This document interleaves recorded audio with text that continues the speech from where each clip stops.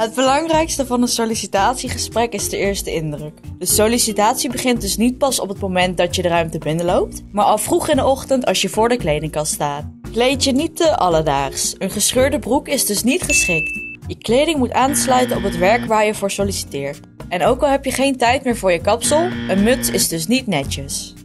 Wat trek je dan wel aan? Een nette spijkerbroek, een sportief shirt met een niet te confronterende tekst of met een grafisch printje. En wil je nog professioneler overkomen, dan kun je een blazer dragen.